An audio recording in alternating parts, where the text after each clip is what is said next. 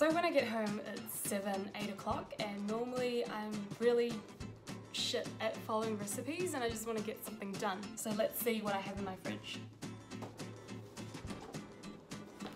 So I found three things that might go well together. Um, there's not a recipe for it. I've never I've never made this before. Uh, so I've got I've got mushrooms cut up, um, kimchi cut up because I don't, can you get kimchi kimchi not cut up, uh, and blue cheese. Uh, so in my head I've just I've just got a recipe and and I think it'll go well. Um, see how it goes. I usually just put everything in a pan and hopefully it works out.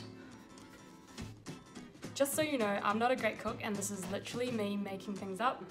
Sometimes they work, sometimes they don't, and uh, when they don't, I guess that's for entertainment. Um, and obviously everyone's palates are different. I'll show you what I'm gonna do. The mushroom in, this is literally me one hand holding, me one hand holding the phone and, and me trying to do this, so bear with me. So I've chucked all the mushrooms in, um, spread around the pan. Oh shit.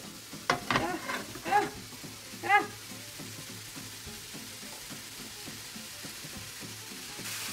I like to put in the kimchi when it's still hot, I mean when it's still cold, um, so the flavours get soaked in.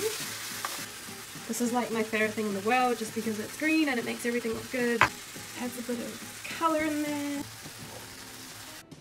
So that took about four, four, five minutes um, and it's pretty much done. Oh. I, I, am kind of just assuming things um, based on what I think would taste good together. And feel free to tweak it. Uh, well, obviously, yeah, do whatever you want. If I had chorizo, I would totally add to this. Check this out. Um, so next part is I'm gonna put in this cheese. I feel like I'm doing a makeup video when they're like, hey. um, but it's not, it's cooking. Mm. I don't normally like blue cheese, but this one is really mild. I have cut up this much, put this all over your face. No, putting it on top so it can melt with the heat. There you go, you can see it right there. But yeah, this is me cooking and this is me adulting. What is adulting? Oh, such a hard one. Um, I think adulting is realizing that things don't actually matter that much and it's just about having fun and being able to overcome things because there's going to be so many um, occasions in your life, or in my life anyways, where I'm like, oh shit, I fucked up, um, and I, I need to do something about it, or oh no, my life is gonna end. Um, but really it's just accepting that everything will be fine. I'm like cooking and then going into this, let's talk about life. Um, so let's talk about life.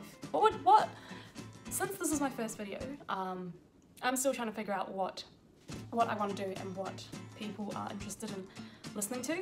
Uh, is it my awesome cooking or is it or is it um, me talking about life or tell me if this is super boring and and you're like, oh, please shut up now. Um, so yeah, this is the first segment of Adulting with Amanda and I hope you enjoyed it. Do people try this on camera?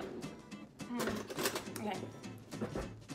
Do you want to watch me eat? Uh, this is a thing. This is a thing in, um, apparently, not apparently, I saw it. Um, this is a thing in Korean culture where you um, watch people eat and people get turned on by it. No, um, I think people just get I don't know what they get out of it. I would be so hungry and I'd be like, let me eat that.